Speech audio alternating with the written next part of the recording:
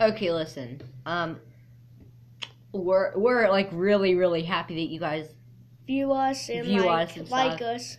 But, we, need would- okay. n- that was rude, harsh. What he meant to say was, we would really like if you guys could make.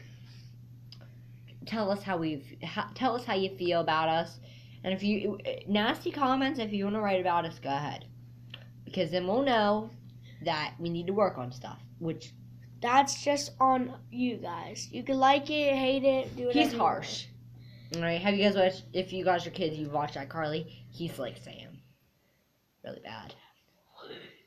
Anyways, just tell us how you like it. If you don't like it, please tell us how you feel.